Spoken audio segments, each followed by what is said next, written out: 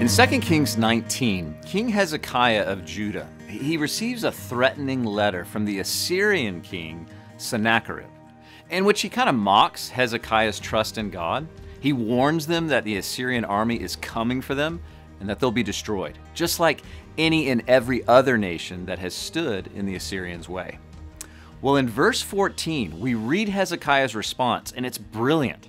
The perfect example of what we should do when facing circumstances that may seem overwhelming or out of our control. You see, Hezekiah takes the letter to the temple, spreads it out before God, and he begins to pray.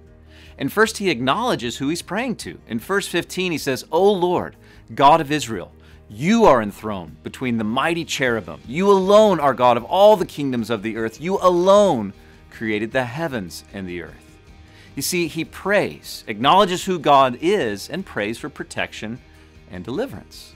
And God uses the prophet Isaiah to tell Hezekiah that he will protect his people and that the Assyrians, they won't even shoot an arrow at the city of Jerusalem. Well, we read that that night the angel of the Lord went into the Assyrian camp, killed 185,000 of the Assyrian soldiers, and Sennacherib, he leaves Judah without even an attempt on God's people.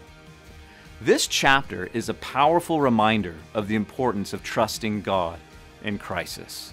Hezekiah, he could have been easily overwhelmed with fear and anxiety, but instead, he turned to God.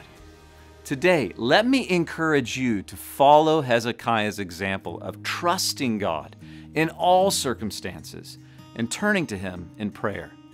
See, remember, God is faithful and He is able to deliver us and see us through any trial we may face.